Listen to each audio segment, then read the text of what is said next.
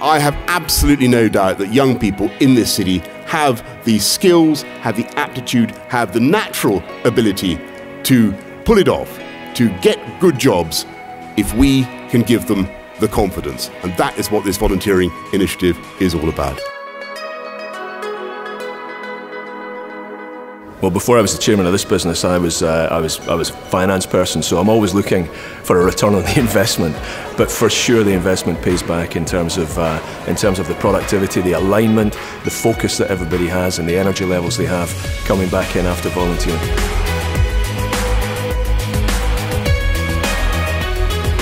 Um, we see it as a great way to develop skills um, in a different way um, it's very much the kind of experiential learning that you might not always get the chance to demonstrate in the workplace.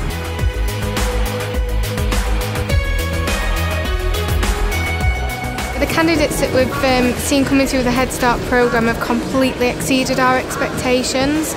They've proven to be enthusiastic, engaged and motivated young people um, with a real appetite for gaining new skills and experience. When donations come in, we'll sort them and price them and put codes on them, put them in according to men's, women's and also just the colour as well. I like to colour coordinate the bags.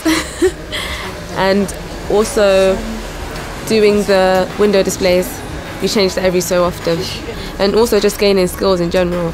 It sounds like nothing, but just talking to someone is a skill. Being able to talk to people and accommodate and help them, is a skill.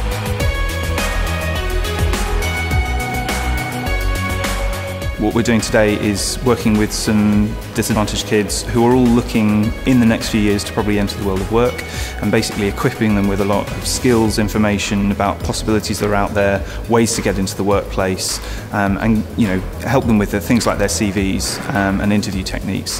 There is a, an element of being able to come together as part of a team with a common cause. There's a real team bonding element that Unilever really benefits from.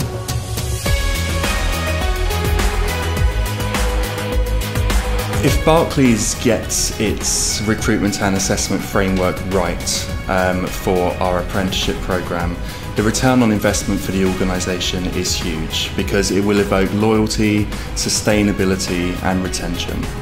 We see volunteering as a really, really great way of developing people. So that for us is the strongest motivation of volunteering. Honestly, the energy, the enthusiasm, the passion it creates within your people, which are the most important asset in any company, this is a great investment to make in your biggest asset.